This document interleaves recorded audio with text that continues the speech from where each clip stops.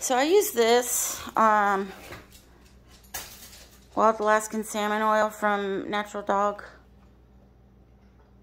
uh, Company. But they they have another one that um, that they have that is more of a skin and coat. And it also has this Alaskan salmon oil in it. I'm going to try that because they've they've definitely responded to the um, to the salmon oil. I mean, they're both friskier than they used to be, but I think since the other one handles their skin and itching and anything, which they really don't have any skin conditions. Danny, Danny, Danny girl, come look at the camera. All right. Hi, oh, so cute.